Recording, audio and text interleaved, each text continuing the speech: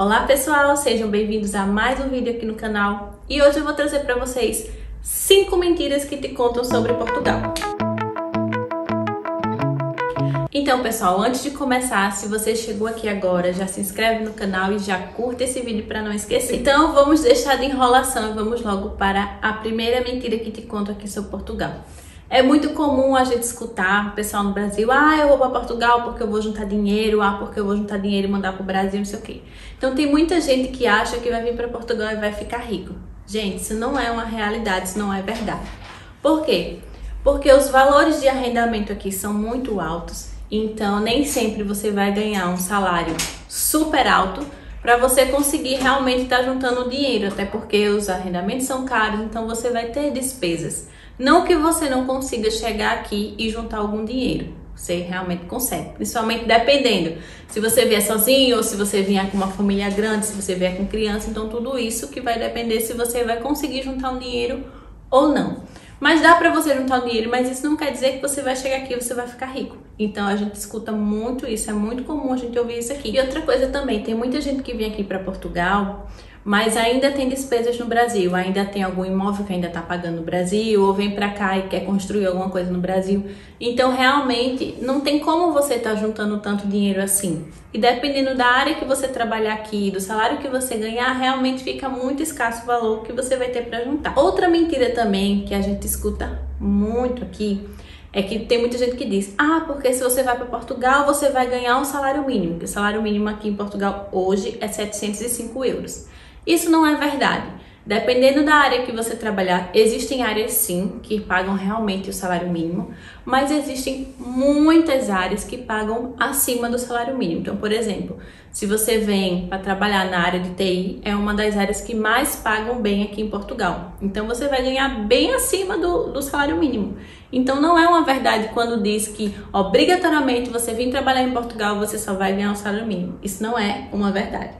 Outra mentira também, que é muito comum a gente escutar o pessoal falar, é que os portugueses são grosseiros com os brasileiros ou são preconceituosos.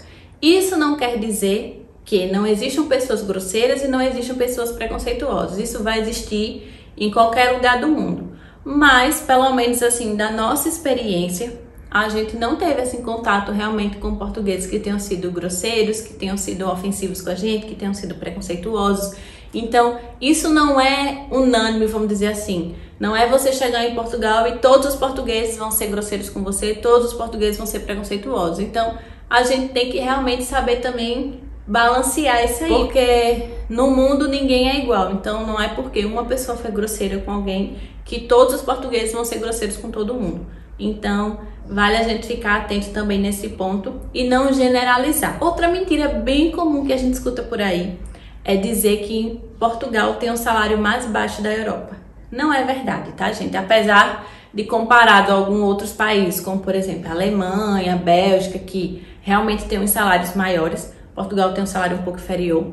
Mas Portugal não é o país que tem o menor salário da Europa. O país que tem o menor salário da Europa no momento, nesse ano de 2022, é a Bulgária. Então, nessa listinha aí de salários mais baixos, Portugal está no 13 terceiro lugar.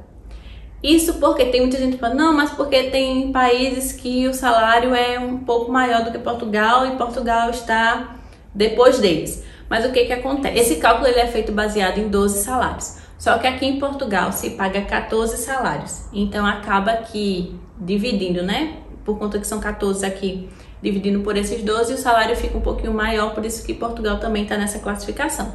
Mas de qualquer forma, Portugal não é o país que se tem um salário mais baixo. E vale lembrar também outra coisa. Aqui em Portugal o salário pode ser mais baixo do que na Alemanha, por exemplo.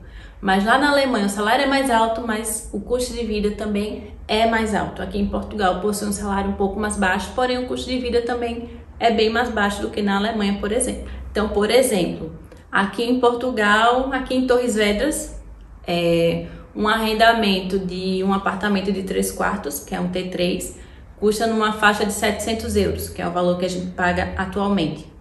Lá, é, lá em Berlim, por exemplo, um apartamento de 3 quartos não custa menos de 1.500 euros. Então você vê que realmente a diferença de valor é muito grande. Então você tem que pensar também nisso. Ah, vou para Portugal, Portu não vou para Portugal porque Portugal paga pouco. Vou para a Alemanha, mas chega lá, vai ganhar um pouco mais, porém o custo de vida que você vai ter também vai ser mais alto. E a quinta e última mentira, né, que a gente escuta, é que em Portugal não faz muito frio no inverno. Realmente assim, comparado com outros países da Europa que realmente chegam até a nevar e tudo mais, Portugal faz um pouco menos de frio. Mas para quem vem do Brasil, Portugal realmente faz muito frio no inverno. Principalmente quem vem do Nordeste, como a gente, que viemos da Paraíba, né, que estamos acostumados com duas estações do ano, que é quente e muito quente. Então, quando a gente chega aqui, se vier na época do inverno, realmente a gente estranha muito. Porque para nós que estamos acostumados com temperaturas acima dos 30 e poucos graus, a gente chegar aqui e pegar temperaturas 5, 6, às vezes até negativa, realmente é muito frio pra gente. Quem vem mais da região sul do Brasil, por exemplo, já chega aqui e não acha tão frio assim. Mas mesmo assim, o frio é totalmente diferente do frio que a gente tem no Brasil. Coloca aqui nos comentários se você conhece mais alguma mentira que te contam. E quando você chegou aqui em Portugal, você viu que realmente aquilo ali não é verdade. Coloca aqui nos comentários que a gente também quer saber, tá bom? Se você não segue a gente ainda no Instagram, já vai lá no arroba Europa, que a gente está sempre compartilhando muita dica, muita curiosidade, muitas notícias, muita informação importante, tanto para quem quer vir para Portugal só para passear, como quem quer vir para Portugal realmente para morar. Então tem muito conteúdo legal lá, então já vai lá no arroba Europa e coloca para seguir a gente. Então é isso, pessoal. Esperamos que vocês tenham gostado e até a próxima. Tchau!